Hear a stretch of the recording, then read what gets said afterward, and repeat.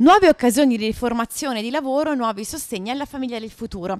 3 milioni di euro in 7 anni per finanziare l'azione di conciliazione dei tempi di vita e di lavoro, in aiuto delle famiglie umbre alle prese con stili di vita ed esigenze nuove.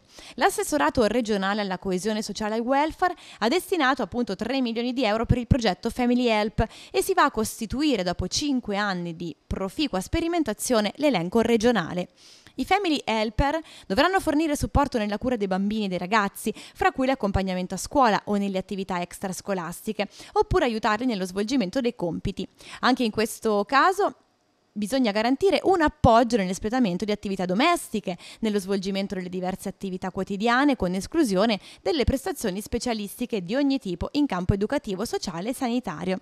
In pratica, ha precisato l'assessore fresco di rinomina Barberini, abbiamo voluto permettere, in particolar modo alle donne che non hanno un reddito elevato, di coniugare il diritto al lavoro con il lavoro di cura familiare e pertanto ridurre anche quelle differenze di genere ancora molto evidenti purtroppo anche nella nostra regione.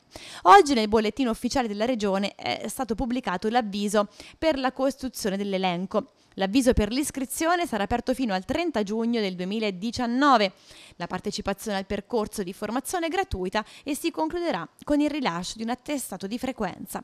L'azione, ha detto l'assessore Barberini, sarà rafforzata con un contributo sotto forma di buoni lavoro IMSS, ciascuno del valore di 10 euro, da destinare alle persone con carico di cura coadiuvate dall'helper e spendibili solo per retribuire le prestazioni fornite dagli iscritti nell'elenco regionale sotto forma di lavoro accessorio o non continuativo.